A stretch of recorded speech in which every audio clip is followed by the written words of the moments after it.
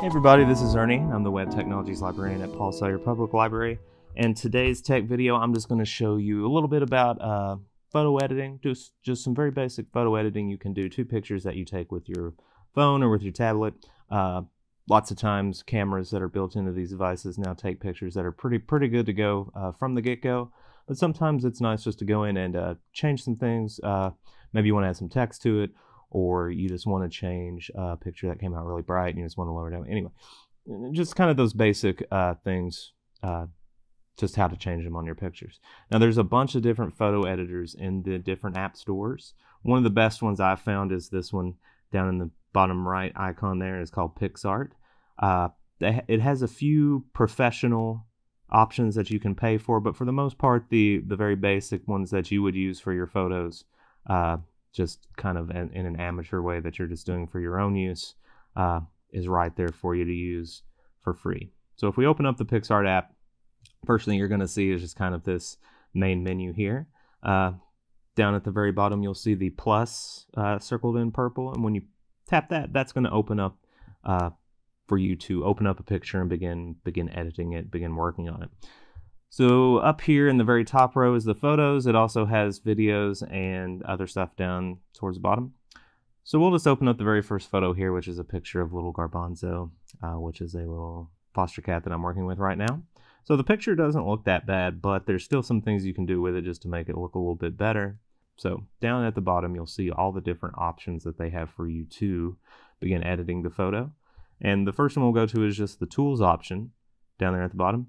And this has kind of the most basic functions as far as dealing with the brightness of the picture, the contrast, and kind of cropping it, things like that, which is always kind of the first thing you want to do. So if we go ahead and crop it, uh, there's a lot of stuff in the picture that doesn't necessarily need to be there. I have the mat uh, for my back door, and the, that's the food, the the can I keep their food in, and behind them there. So we'll kind of just make a little Bonzo the main center of the picture there. So there we go. It already looks a little bit better. Uh, he's a little bit blurry now just because I've kind of uh, zoomed in on him a little bit, but that's also something you can kind of fix a little bit with editing. So we go back to the tools. Uh, when you go to the adjust option there, that's where you can adjust the different levels, such as brightness and con contrast and things uh, for the photo. So since this was taken where he was right next to a window, I can turn the brightness down just a little bit just because uh, it was kind of super bright where I was taking the picture. And then if I go to the contrast and I can kind of turn it up and down and find a nice uh, spot where it's looking pretty good. The main thing to do with these levels is just kind of go through each one and kind of just move the slider back and forth to uh, to something that you just think looks good or it makes the picture look a little bit better, a little bit more what you wanted it to look like. Uh, and now if you you know if you move it way too high up, it's going to look a little bit ridiculous. So usually just a little bit is all you got to kind of worry about, uh, unless you're taking something completely in the dark or something like that. So once you play around with the levels a little bit and getting getting things looking a little bit how you want them, uh, you can just hit apply up in the top right, and that will save the changes that you had made up to that point to the picture.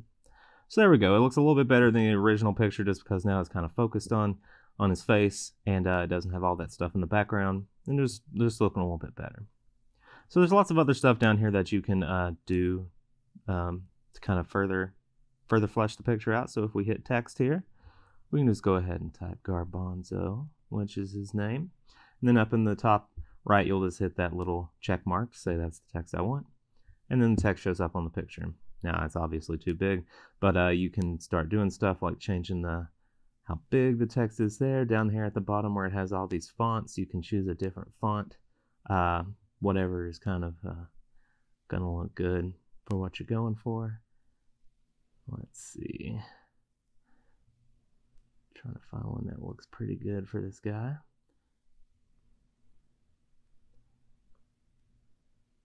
That looks like a garbanzo to me. We can move it up in the top corner here, maybe make it a little bit smaller.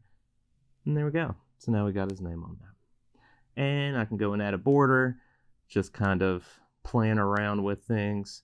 Uh, lots of times just playing around with the different options and seeing what they can do uh, can help you make your pictures, like I said, look just a little bit better. Not going to drastically change them like you would with, say, paying a $1,000 for Photoshop or anything, but for something that's free in the App Store Uh, I lots of times before I post them to Instagram, pictures of my cats, or even before I send them off to people that I just kind of want to look at or whatever, I'll play around with them just a little bit just to kind of make it look a little bit better. So once you're done, you can just hit the uh, the download button up there next to the two arrows, the down arrow, and that just saves it to the actual device. So now it's actually saved the edits that I've done to the picture to my iPad. And that's all there is to it. Uh, like I said, there's a bunch of different photo editors in the App Store. I just chose to show PicsArt just because it's free and uh, it's very simple to use and it has the the pretty good options for stuff for you to do uh, without getting too uh, complicated. And uh, but if you want, you there there's several other ones you can try in the App Store. Uh, whatever fits your needs. But um, it's one of those things where lots of people just kind of throw their pictures out without doing any bit of editing to them at all. And sometimes it's a little fun to get into it and just make things look a little bit, uh, a little bit better. And if I tap on the screen here, it'll actually show me the original and then what we're looking at here afterwards. So, looking pretty good. Hope this was helpful. And uh, anyways, have fun editing your photos. Thanks.